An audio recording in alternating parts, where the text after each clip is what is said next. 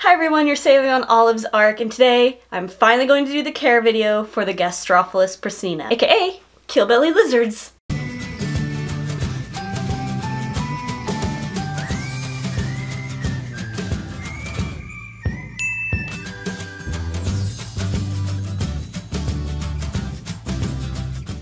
Hi everyone, so today I'm finally going to do that care video that I think has been somewhat anticipated as I uh, set up the enclosure for these guys. I then did an unboxing and then I did a, a relaxing little montage of the keelbelly lizards. And today I want to go over care with you guys because I think it's due time. And now that I've had them a few months I think I feel comfortable enough to give a proper care video. But if you haven't seen it I will link down in the description below the build for this cage as well as the unboxing and the relaxing footage just in case you think these guys are pretty cool. But if you don't know what a keelbelly lizard is, I'll overlay some footage right now.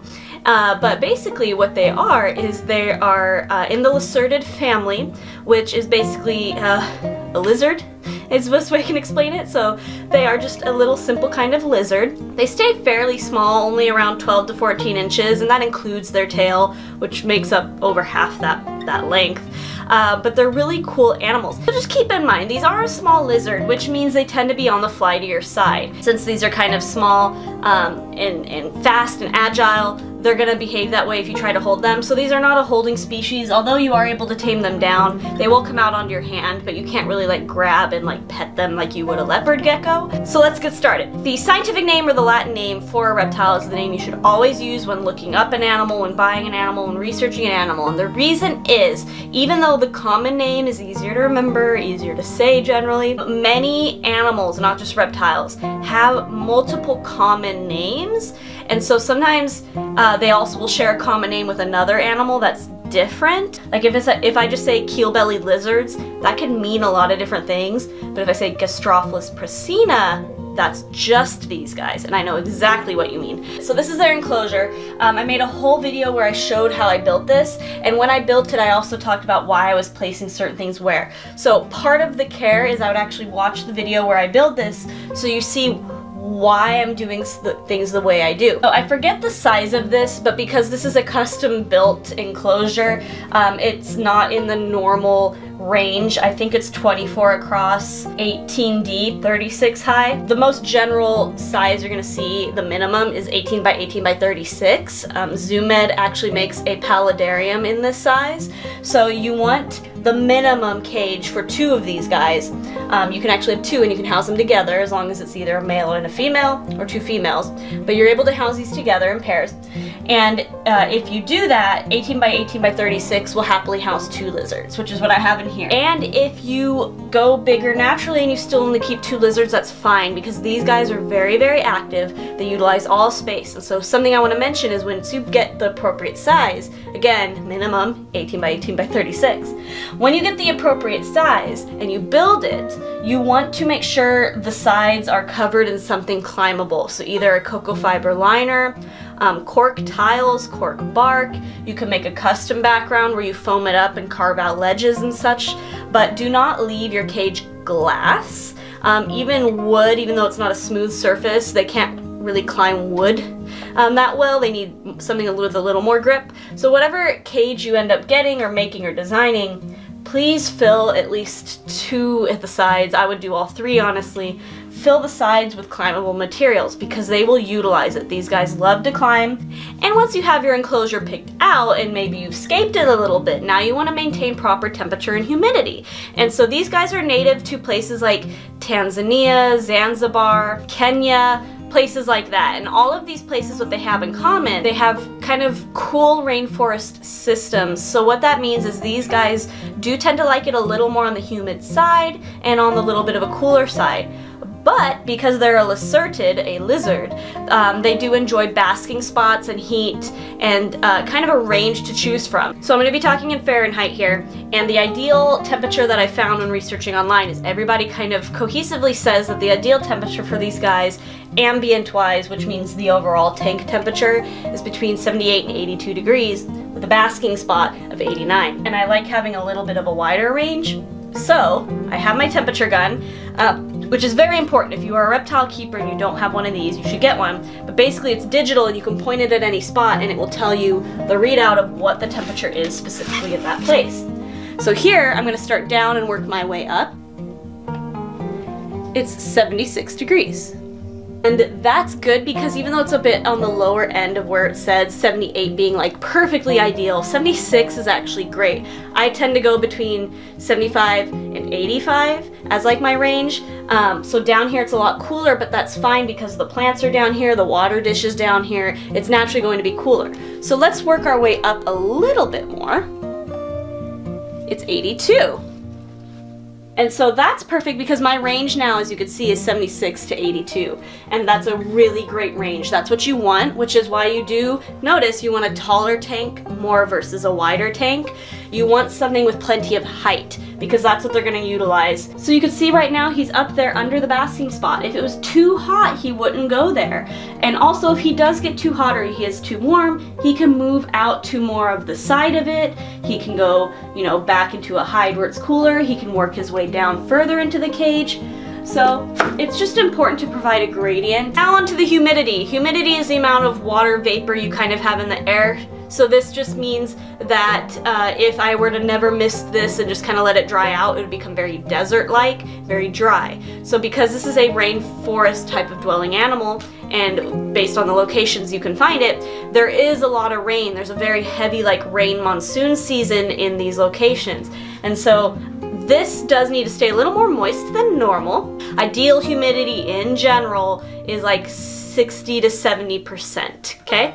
A normal house, at least for me, I find my house usually stays around 40 to 50 depending on the season and the weather and things like that. In general, I try to keep this in the 60% range, but every so often, every couple days, I'll really like drench the cage just to boost up the humidity to maybe like the 80s. So it's just an occasional boost. It keeps things like on normal weather patterns and cycles, and there are rainy seasons versus dry seasons. Next, let's talk about lighting. Two lights. One is the UVB uh, tube light and the other is a heat basking light. You do need both of these bulbs if you're going to be keeping Gastropholis prasina because they need both heat and sunlight essentially. So that's what the UVB is acting as. If you are not familiar with UV bulbs, they act as a sun. So if you're keeping your Gastropholis prasina inside, you will need a UV bulb. What I do is I buy the tropical version of UVB tube lights. Uh, so most brands will have a desert and a tropical version. Usually it'll be called the tropical sometimes is also called like the 25 tube or a 2.5 tube, something like that. So you want the tropical version of the tube. And then the second bulb that was also up there was that tiny little heat bulb. The one I get is this nano basking spot from Zoo Med. It's really tiny, it's a 40 watt bulb. Um, you can even see how small the box is. And the reason my light's so tiny is because my, my natural ambient house temperature is usually in the higher 70s. I usually keep my house around 77 to 78 because I have so many reptiles and it's easier to just keep the house a little warmer. But um, with my house being a little warmer, I don't need a high-powered basking light because then I would be getting extreme temperatures up top. So I just need a little boost in light. This just adds another like 10 degrees to the ambient temperature. Next is feeding these guys. So this is something that people are still discovering and kind of learning about, but what I found is they mostly are insectivores. So hands down, if you only feed them insects for their lifetime, they are going to be healthy, happy lizards. Um, mine love roaches more than any other food. Uh, crickets are their second favorite. Some other interesting insects that mine will also eat are snail, worms, and flies like larger flies, not fruit flies. Make sure you always dust them with a calcium powder and a vitamin powder on a rotating basis. I feed mine personally every third day because I feed really big meals when they do eat, so I found every three days is what keeps them healthiest and happiest.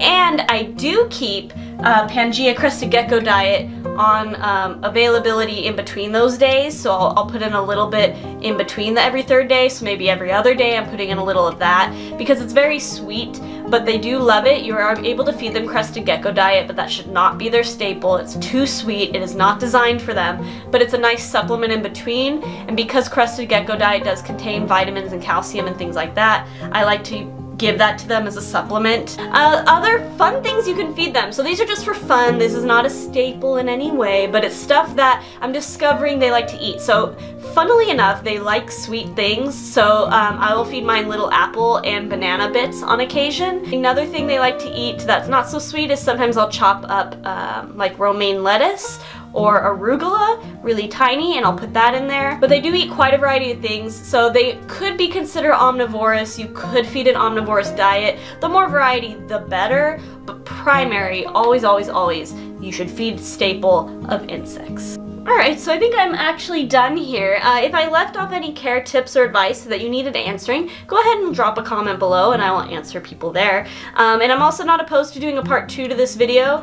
To reiterate, just the overall perfect checklist to make sure you have everything to start off your Gastropholis prasina as happy and healthy as possible is you want to make sure you have the appropriate tank size, you want to make sure the temperature and the humidity are always in the right ranges, and remember, just because I'm listing the perfect temperature right now on the screen does not mean you have to stick within that range. A couple degrees off is always okay. You want to make sure you feed a proper diet, primarily of insects, but you can supplement with other fun foods as well, like apple and Pangea diet and veggies. You should definitely have a UVB light as well as a small basking light, and your basking light is going to depend on the temperature of your house. If you keep your house at a colder temperature, you might need a larger light, but if your house stays at a warmer temperature, you can get a smaller light, and if your house temperature changes seasonally, you can always get a thermostat to help control your lighting, or you can switch out bulbs as the seasons change. And my last bit of advice is to just love your Gastropholis prasina. They're actually a fairly easy to keep lizard for being something that's uncommonly kept. Um, I don't see them any harder to keep than like a bearded dragon or a leopard gecko would be. All, the, all reptiles take some bit of knowledge to keep into care, and as long as you're willing to provide these things for them, they're, they're all easy to keep in my opinion. Um, but always do your research and never buy an animal before you know what you're doing and that you're actually ready. So that's it guys. Um, I'll leave you off with my little little friend here and I will see you next Friday. Bye!